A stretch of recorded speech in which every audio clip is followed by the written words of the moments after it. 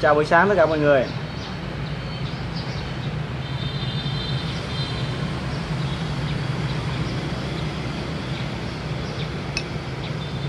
Nay thì buổi sáng em ờ, em quên quên mang máy tính.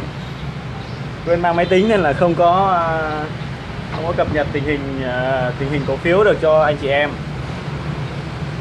Nhưng mà thôi, rảnh hôm nay em ngồi buổi sáng uống cà phê đọc sách đọc lung tung á.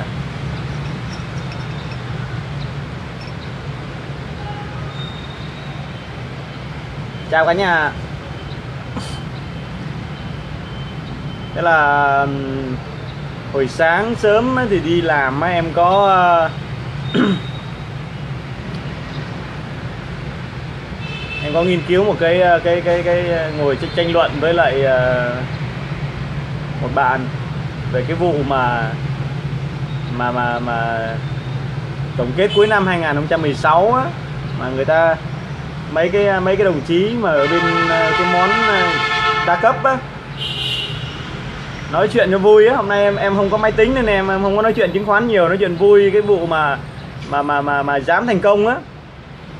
Mấy cái bạn ờ, mà mọi người phản đối quá trời nhưng mà số lượng lượt xem video của các bạn đó là cũng cũng nhiều á là cái vụ mà ờ, gọi là tuyên thệ mà năm nay sẽ sẽ sẽ sẽ kiếm được một triệu đô la Mỹ năm 2016 anh chị có nhớ cái vụ đó không? Thực ra nó cũng có cái điểm điểm thiếu tích cực của những cái người làm cái video đó nhưng nó cũng có những điểm tích cực thực tế đó là theo cá nhân em em em thấy anh anh chị không biết nghĩ thế nào nhưng em thấy đó là cái cái việc mà dám thành công á Nhớ khi họ họ họ làm một video, họ tuyên bố như thế thì à, theo em thì em nghĩ rằng là nó tạo nên cái áp lực. Nó tạo nên cái áp lực. Tức là bất chấp tất cả đây, đúng đúng, ai, anh anh anh anh nào đấy nói là bất chấp tất cả, nhưng mà nó tạo nên một cái áp lực để cho những con người đó họ họ làm, họ phấn đấu.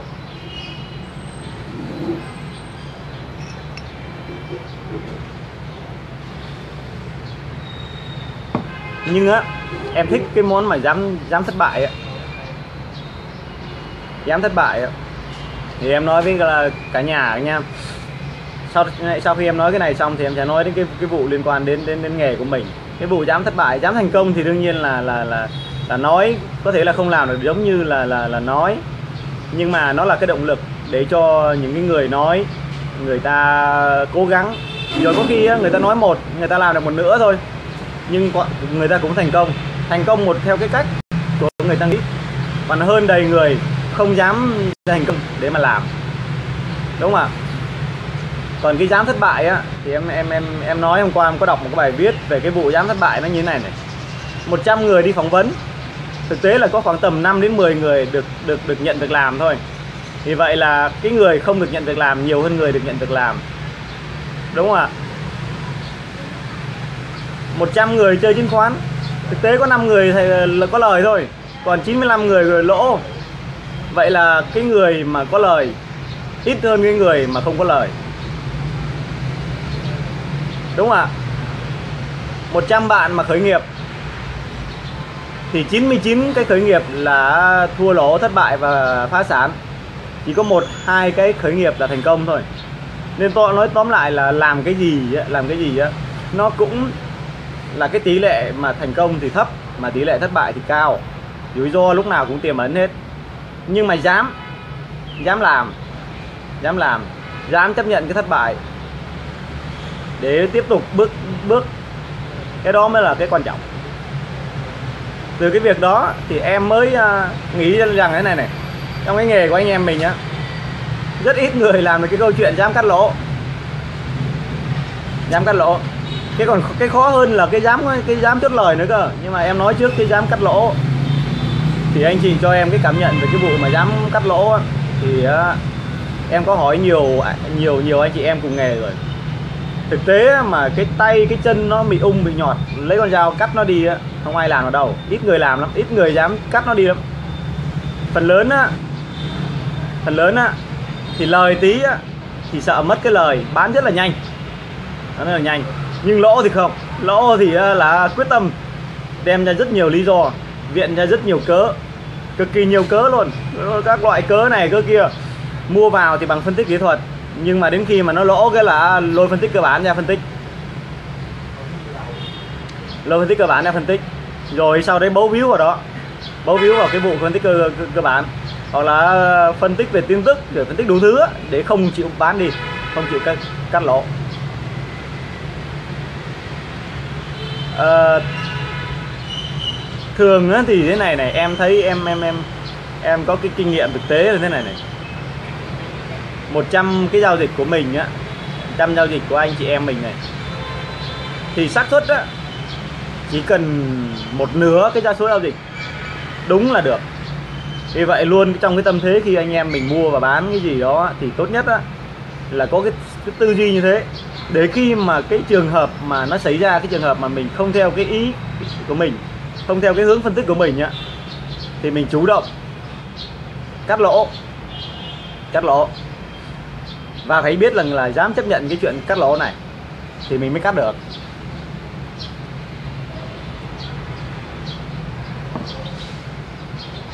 Thực ra thì muốn nói nhiều hơn với các anh chị về cái cái vấn đề này, nhưng mà em chưa tìm được cái ý diễn đạt thế nào để để nói cho anh chị dễ hiểu cái vụ mà dám dám dám dám dám tức là dám chấp nhận cái sai lầm á. Dám nhận cái sai lầm để nói anh chị hiểu dễ hiểu hơn. Nhưng mà nếu là một người mà mà mà, mà gọi là trader chuyên nghiệp á thì cái việc mà cắt cắt lỗ là thường lắm. Thường tình lắm. Cá nhân em mà giao dịch á khi mà em gõ T1 xong tức là em gõ mua xong cuối ngày hôm đó là em đã biết là em thua hay thắng ở cái vụ này rồi cái này em khá khẳng định luôn.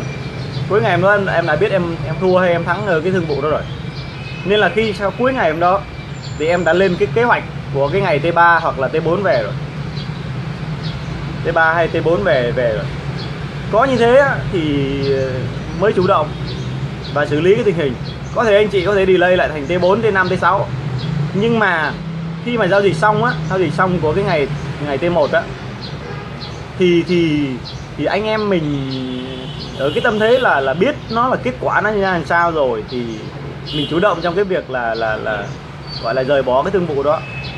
Để đi, đi lấy cái dòng tiền để làm cái việc khác. Nó hiệu quả hơn rất là nhiều so với việc anh chị mà mua sai.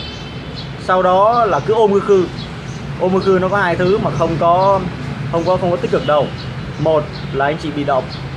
Anh chị chuyển từ kinh doanh mang tính chất phân tích và dự báo thành kinh doanh kỳ vọng ngồi kỳ vọng nhờ cho nó lên. Và bắt đầu từ cái ngày sau khi anh chị đã bị lỗ khoảng tầm 5 đến 7 phần trăm xong á, thì anh chị bắt đầu chuyển sang một cái giai đoạn đó là là ước gì nó chỉ lên hòa là bán. Như vậy là kinh doanh hòa. Nó không còn là kinh doanh có có sinh lời nữa mà nó thành kinh doanh hòa. Kinh doanh mong sao để hòa hòa vốn.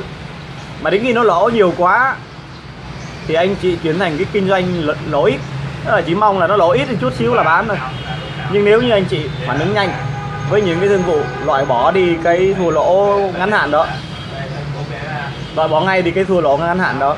Thì anh chị sẽ chủ động trong các cái, tức là chủ động, ở đây có hai thứ. Một là chủ động về dòng tiền. Anh chị sẽ có tiền để xoay vòng một cái vòng cái vòng kinh doanh khác, mua bán khác. Em đang nói đây, cái này là giao dịch ngắn hạn về mặt ừ, gọi là ừ, lướt sóng chơi đinh ngắn hạn thôi. Còn cái vụ dài hạn thì em em em em nói sau. Nhưng em đang nói về cái vụ này thì nhá, em nói lại với anh chị là như nhá, anh chị chủ động, bán ra, phản ứng nhanh. Có thể là hòa vốn lỗ một chút, sau đó sẽ có dòng tiền. Có dòng tiền thì anh chị sẽ không bị mất đi cái chi phí cơ hội. Bởi vì có cái cơ hội mới, anh chị có sẵn tiền thì anh chị mới tham gia được với cái ờ, cái cái cái cơ hội mới. Đó là cái thứ nhất. Cái thứ hai nữa là với cái dòng tiền ít của nhà đầu tư nhỏ muốn cái doanh thu giao dịch cái doanh thu nó nó nó lên thì anh chị phải chủ động thì mới có nhiều doanh thu. Thì doanh thu nếu như anh chị làm tốt thì nó mới phát sinh được lợi nhuận. Còn các anh chị có dòng tiền ít mà ôm xong để chuyển thành nhà giao dịch uh, kỳ vọng hòa vốn với lại kỳ vọng lỗ ít thì anh chị đã đã đã đã, đã tự làm khó mình rồi. Đó là cái thứ nhất. Cái thứ nhất em nói về cái vụ mà khi lỗ mà không chịu cắt. Lỗ không chịu cắt. Cái thứ hai nữa trong tư duy của tất cả những người mà đã tham gia cái thị trường chứng khoán đó, thì phần lớn tính sáng tạo rất là cao. Ai cũng rất là thông minh. Có bản lĩnh. Nhưng có một cái cái khuyết điểm á nó là không dám thay đổi. Không dám thay đổi. Và rất chi là bảo thủ không có tư duy rằng là mình sai và cắt lỗ, hay là có tư duy mình chấp nhận cái sai lầm của mình. Luôn luôn cho rằng là mình làm cái gì cũng phải đúng, bảo thủ lắm, không thay đổi. Đó là cái thứ cái thứ mà nếu sử dụng ở đâu thì đúng em không biết, nhưng mà sử dụng ở thị trường chứng khoán thì không có đúng. Và có khi là sai bét á, sai bét á, mà gây ra những cái khó khăn lắm đó là cái thứ, cái cái cái nữa em cũng muốn nói để để làm rõ cái vụ mà dám cắt lỗ này. Cái thứ ba nữa, có rất nhiều những trường hợp anh chị không chịu chấp nhận sai lầm mà lại gặp phải những cái cổ phiếu mà nó giảm miệt mài. Thì gần như em có bắt gặp một số tài khoản lớn chứ không nhỏ của khách hàng em. Khi mà đưa cho em, thì cái đầu tiên em phải làm đó là đó là xử lý lỗ. Anh chị có tưởng tượng là cái cảnh mà nhìn một cái tài khoản mà 5 6 tỷ mà lỗ mất 2 tỷ dưới 3 tỷ tỷ lệ lỗ toàn 30 đến 50 trăm mà. Xử lý cái vụ này cực kỳ khó luôn, bán ra mà nó lên thì khách hàng cắt cổ. Nhưng mà không bán thì càng thế nó là càng lỗ.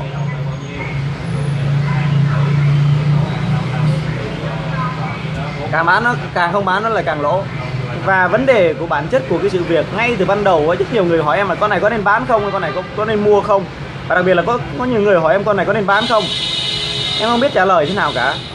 Bởi vì trong cái cái cái cái cái, cái nghề này đặc thù cái nghề kinh doanh này á có những cái lúc phải lấy cái sự nhanh nhẹn làm đầu lấy cái sự quyết đoán làm đầu. Nhưng cái tư duy khi mà anh chị mua vô là như nào mua tức là mua vào cổ phiếu á mà tư duy tư duy như nào cái cái gọi là kế hoạch ra làm sao cái kỷ luật như nào. Ngay từ đầu anh chị đã phải có cái chiến lược đó với lại cái tên danh mục của mình rồi nhưng đến khi đã mua vừa rồi hỏi em là có nên bán không? Em không biết như thế nào mà trả lời hết á. Cũng giống như chuyện em nói là đi xử lý cái tài khoản mà lỗ á. Bây giờ không biết là cái ban đầu họ kế hoạch như thế nào với cái vụ này. Nhưng bây giờ nó chót dại là lỗ mất 30 phần trăm rồi. 50 phần trăm rồi. Mà em thấy toàn khách hàng là có trong danh mục toàn là Hoàng Anh Gia Lai này. Mua từ cái vùng ở trên trời đâu á. FLC, KLF à, ờ, rồi cái gì mấy con khoáng sản mà bây giờ không biết là như làm nào cả. Nếu như là em á thì em đã có kế hoạch ngay từ cái ngày mà T3 rồi. Nó đã, đã, đã xử rồi. Thì nói tiếp. Là nếu như không cắt lỗ không chịu cắt lỗ thì tóm lại là cuối cùng là mình không làm được cái gì tiếp theo nữa đó mình không phản ứng được với thị trường. Tức là mình bị kẹt ở đó. Kẹt ở đó là mình ngồi mình kỳ vọng kỳ vọng mày lắm. Kỳ vọng không biết làm được cái cái khí gì đó thế rồi bắt đầu mình mới chuyển sang một cái cái cái đổ lỗi cho thị trường. Viện một cái cớ đổ lỗi thị trường là thị trường thế này thị trường thế kia. À, bạc cờ bạc. Toàn những là cái bọn lừa đảo. Mà ông chấp nhận rằng mình sai. Thế thì cái xác suất của cái việc kinh doanh em nhắc lại một lần nữa xác suất kinh doanh ở đâu thì cái xác suất đúng cao không biết. Nhưng theo quy luật tự nhiên á, thì em biết rằng là là là cái cái cái cái ngay từ cái đầu video em có nói á 100 người đi xin việc thì có 5 người nhận được việc làm, nó còn 95 người là đi về tay trắng. Trăm người khởi nghiệp thì có hai, ba người ờ, thành công thôi. Còn 98 người ờ, 98 cái doanh nghiệp là phá sản. Thì vậy là rủi ro trong nghề nào cũng có, rủi ro trong vấn đề gì cũng có trong xã hội thôi. Nên phải luôn luôn có tư duy ờ, cố gắng tôi dùng em cái tư duy đó là khi giao dịch kinh doanh tài chính tỷ lệ thua lỗ là 5 năm. Đừng có ý y mình chọn tốt rồi nhưng vẫn có trường hợp, ngay từ cái lệnh mình mua là có thể lỗ và có, vì mình chấp nhận cái việc có thể lỗ nên khi hàng khi cổ phiếu mà không theo ý mình nó có những diễn biến tiêu cực khác với cái ý của mình thì em khuyến nghị các anh chị là nên chủ động chủ động ngay từ những lúc đầu tiên để chuyển dịch cái dòng tiền của mình vào những cái việc từ khác có ích hơn.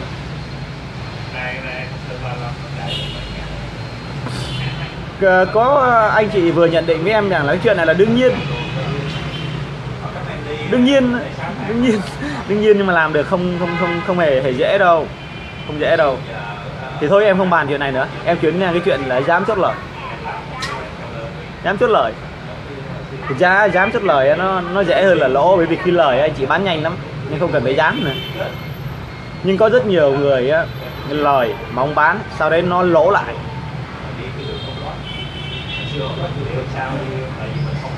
Nó nó lỗ lại thì can quan điểm cá nhân của em ấy, thì em thấy này này. À, theo đúng cái kế hoạch ban đầu về chốt lời và cắt lỗ thì cứ đúng kế hoạch mà làm. Nếu như nếu như cổ phiếu mà sau khi mình bán đúng cái đỉnh nó xuống thì với cái tư duy đó là trời cho. Đừng có nghĩ là mình giỏi. Đó là thứ nhất.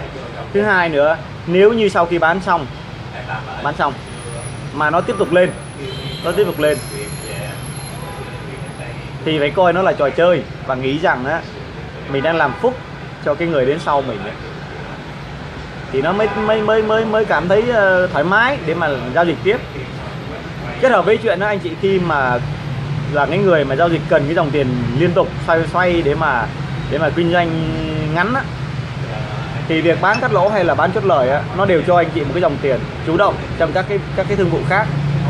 Và sẽ cho anh chị một cái cơ cái cái cái, cái nguyên lý về cái uh, chi phí cơ hội á. Này không không không không không ít người để ý đến đâu. Em nghĩ là quan trọng nhưng mà mọi người thì lại không thấy nó quan trọng. Nhưng em nói thật phân tích cơ bản phân tích kỹ thuật phân tích dòng tiền hay anh chị phân tích cái gì đi chăng nữa thành công hay thất bại không phải vì cái đó đâu mà vì chính cái tư duy của của của, của mọi người đang ngồi đang nghe em nói chuyện này. Cái tư duy về cắt lỗ và chốt lời mới là cái quan trọng. Cái tư duy về cái việc thỏa mãn và về cái cái cái cái cái cái cái, cái thương vụ làm ăn cái thương vụ giao dịch của mình mới là điều quan trọng. Và chính đó mới tạo nên lợi ích. Nó tạo nên lợi ích. Anh chị không quan trọng cái chuyện em nói. Ok em không em em không khe bởi vì em nói thì em vẫn nói. Ai nghe được thì nghe ai hiểu được cái ý em nói thì hiểu thôi. Nhưng em vẫn nhắc lại một lần nữa đó là cái quan trọng nhất của cái nghề kinh doanh mà mà mà thực ra nó không có đáp số đúng cho tất cho một cái thương vụ cho tức là nó không có một cái cái kết cục chung á. Và nó cũng không có một cái cái quy luật chung nào cho tất cả mọi người. Nó không có cái sách nào viết để mà cứ học cái sách đó xong là là là là, là mua bán là có lời. Bởi vì nó biến thiên ghê lắm. Nó lên nó xuống nó biến thiên và nó nó nó ngoài tầm kiểm soát của nhiều người lắm. Thì kế hoạch có sẵn cái kế hoạch khi giao dịch á, và cái kế hoạch của cái chuyện mà quản trị cái danh mục quản trị cái giá trị cho cái dòng tiền của anh chị á, nó mới là quan trọng. Thứ hỏi anh chị nào mà đã làm được qua các các quý á, sẽ biết được cái phương pháp quản trị danh mục quản trị dòng tiền. Mới mới đi xong cái là ký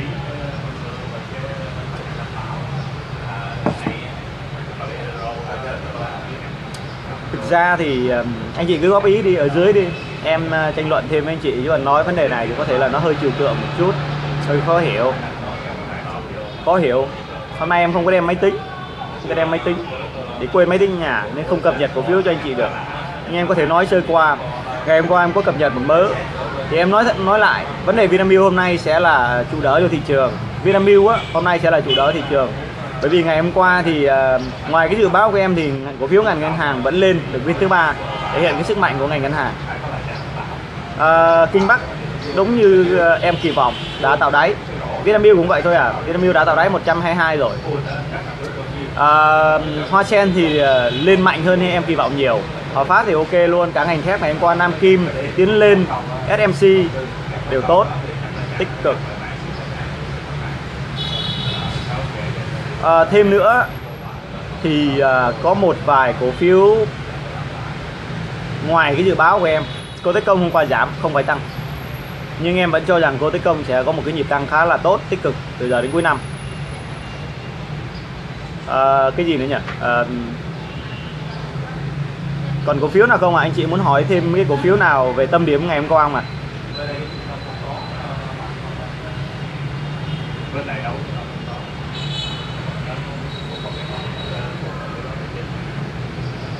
Nói thì dễ thế cái, cái các bạn nào vừa có ý kiến là à, giữ được cái tâm lý của mình không theo xu hướng đám đông?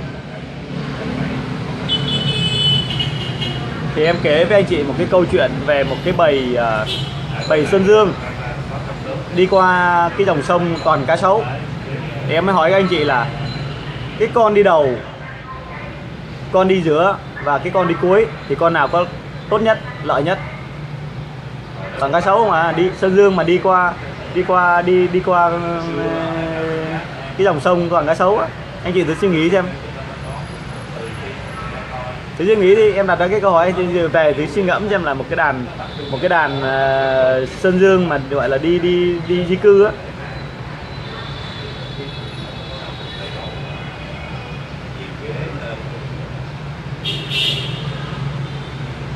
Có cái có cái bạn nào đấy nhận định rất là linh tinh nhá? Bởi vì nếu không không thích thì thôi không thích nghe thì đừng nghe nữa.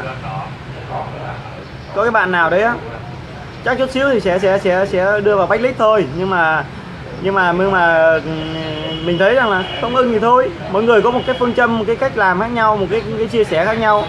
Còn nếu như mà bạn nào ờ, không không không ưng không không không, không thích nghe thì có thể thoát ra thôi. Sao phải đi nhận định những cái thứ mà gọi là làm khó người khác mà làm mất hứng người khác như vậy nhỉ? Mới sáng sớm mà đã đã đã mở miệng nha, đã như là như thế rồi thì em thấy thực ra em làm là những chuyện là có ích cho mọi người thôi. Nhưng mà nhưng mà lại có những cái bạn rất là rất là rất là miệng ờ, miệng lưỡi nói mà gọi là gì á? Người ta bảo là miệng ăn, miệng nói, miệng cười, miệng đi nói chuyện cho người ta yêu. Nhưng mà đây là toàn những cái lý dòng là nói liều không à? Ăn ăn tục nói liều không à? Em thấy đáng lý ra là là, là là là những người đấy là những người đáng bị chỉ trích phê bình. Và tí nữa em xem cái bạn đấy là bạn tên gì ở đâu. Ờ, bởi vì em thường là những người mà nói như thế là em thường là kiểm tra cái cái nick đó. Thì không có tên tuổi. Không có gì hết á.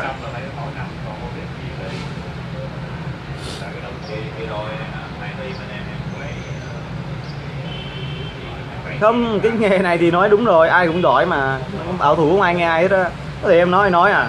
Nhưng mà thực ra em chỉ mong rằng là cái số lượng người nghe video của em á thì uh, khoảng 10 phần trăm gì đấy hiểu được cái ý em nói thôi. Còn lại 90 phần trăm thì phần lớn là họ nghe nghe bỏ đó à. Và em biết thêm một cái chuyện nữa đó là em biết một con những video của em lên tới khoảng 4.000 người nghe. Rất nhiều bạn bè của em nghe rất nhiều anh em dân broker và em biết rất nhiều các cái bạn gọi là sell sell shop á, best sell á, best seller của của của những công ty lớn á cũng nghe em nói. Không ý kiến gì hết. Đội lái cũng nghe em nói luôn. Em biết là có những thứ em nói á, có những nhóm họ đang giao dịch á họ cũng làm khó em. Nhưng mà em vẫn nói cái cái gì đúng cứ nói. Nếu mà sai em sẽ sửa. Em sẽ sửa. Còn em thấy á, nhiều người thiếu tích cực lắm. Không chia sẻ nhưng mà đi đến đâu giờ cũng cứ nói lung tung nói bậy nói bạ rồi làm làm khó người khác.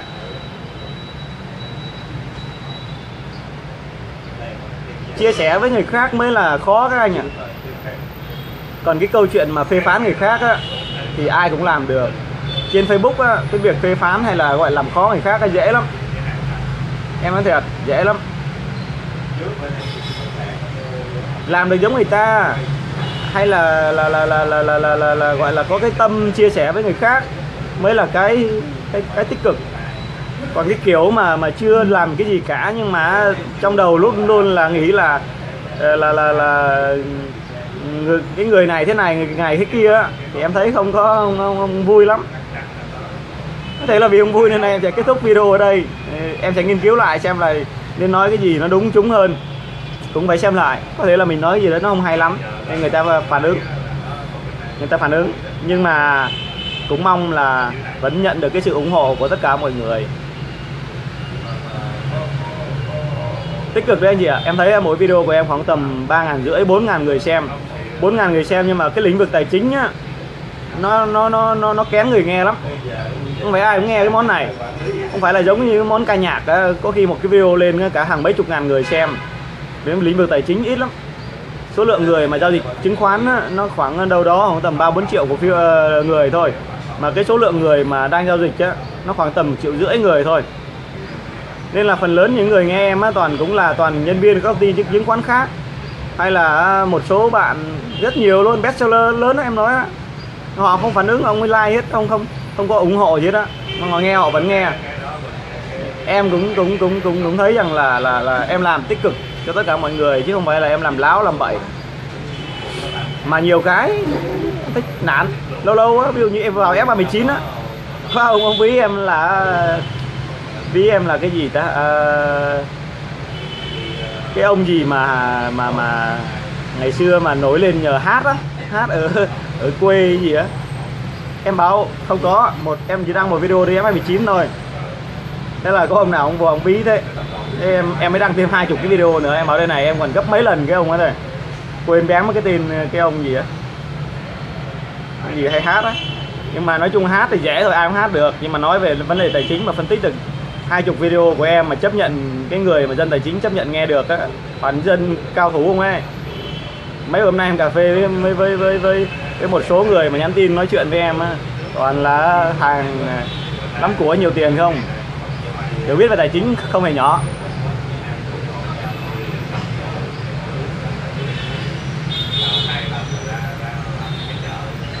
Um, cái kết của cái câu chuyện này á thì đáp số đúng của của cái thành công ở đây á em có thể khẳng định luôn là do tư duy của mỗi người. Thế nên em mới nói nhiều thứ để mọi người nâng cao cái tư duy cái tầm hiểu biết rộng. Rồi thành công hay không tùy từ mỗi người. Chứ không có bạn đáp số đúng mà cũng không có cái cách nào không có không có một cuốn sách nào viết về cái chuyện là cứ làm như thế là là là là à đúng rồi lại rơi lại rơi. Đúng rồi đấy không có một cái cái cái cái cái cái phương pháp nào hết á sách thì đọc nhiều đọc viết. Các anh chị đã đọc đi. Hôm qua có bạn nào hỏi về em về cái, cái thống kê sách á. thực ra thì chỉ cần đọc hai cuốn đó là là cái cuốn uh, uh, của của O'Neill. Với lại một cuốn của Gordon Buffett thôi. Là là sách nó cũng viết bao hàm ở đó hết rồi. Nhưng đọc sách không có ý nghĩa gì đâu. Thật đấy. Và tìm ra một cái cái cái, cái bước đi riêng cái hướng đi riêng của mình. Thì nó sẽ đúng để chúng hơn. Dạ.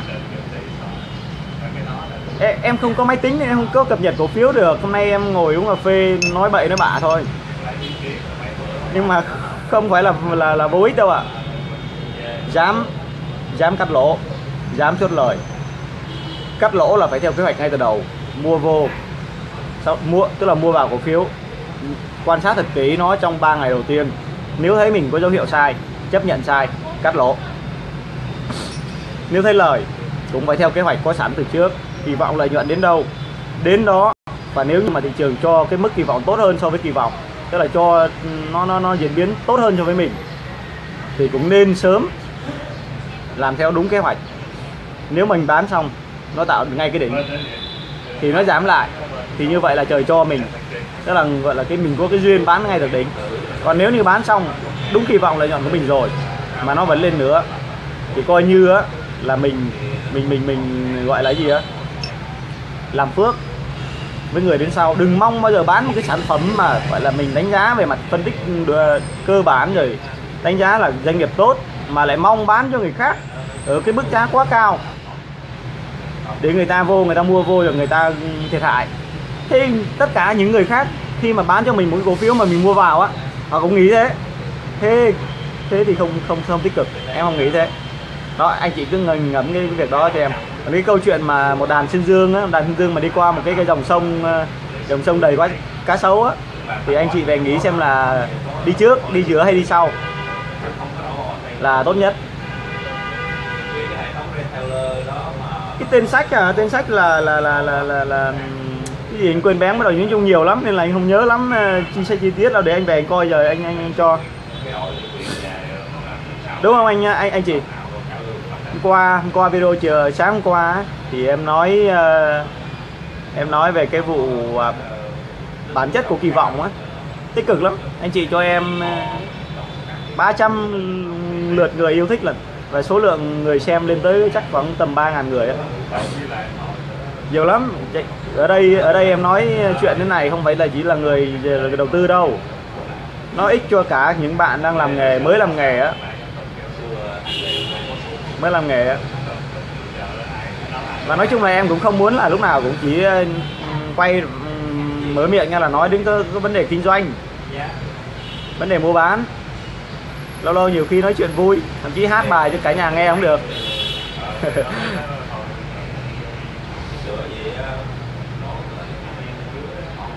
Dạ dạ em biết mà. Em biết nhiều người nhiều người mà mà gọi là kinh doanh lâu trên thị trường á, họ mới hiểu cái tâm ý của em.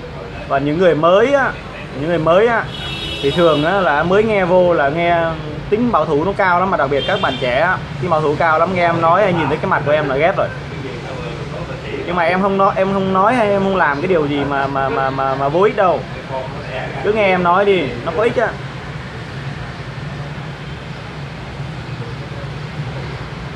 Hát à hả?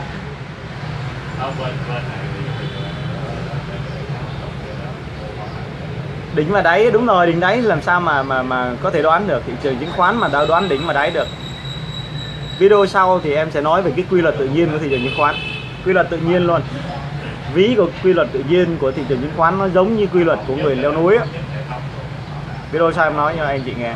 Sẽ hiểu được đỉnh là đấy là như thế nào. Và tại sao khi mà nó đi lên, nó đi lên thì rất rất khó khăn. Nhưng mà đi xuống thì giống như người mà lên đến đỉnh núi hoặc là đi lưng chừng núi mà bị trượt chân á, ngã, nó xuống nhanh lắm. Nó nó tuân theo đúng quy luật tự nhiên luôn. Và em giải thích cái chuyện đó về mặt bản chất cho anh chị và mọi người mà theo dõi em mà mà ủng hộ em á hiểu được cái bản chất của cái việc này. Thị trường chứng khoán nó cũng có quy luật tự nhiên của nó luôn. Nó vận hành và nó đi theo đúng quy luật tự nhiên.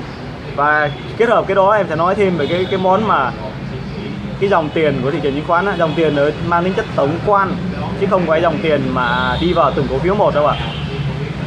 Và để mọi người hiểu được biết được rằng là tiền ở trên thị trường chứng khoán nó có khoảng bao nhiêu ở đâu mà ra động lực nào từ cái dòng tiền để mà để mà cả thị trường chung nó đều đều có thể tăng được đó. nó đều tuân theo cái quy luật tự nhiên hết. Ok hẹn gặp gặp lại mọi người ở cái video ờ, cuối tuần đi. Em làm cái chuyên đề riêng đó. Không nói đến cập nhật nữa nói riêng cái chuyện đó. Dạ vâng quy luật này anh. Ủng hộ em nhé còn cái ông nào mà nói bậy á anh chị ờ, anh chị anh anh chị ờ, cái này em chưa tìm ra cái chương trình để quay màn hình cho nó nét á. Nhưng để từ từ em tìm cái chương trình quay màn hình nét thì em sẽ hướng dẫn phân tích kỹ thuật. Dạ vâng chào anh chị ạ.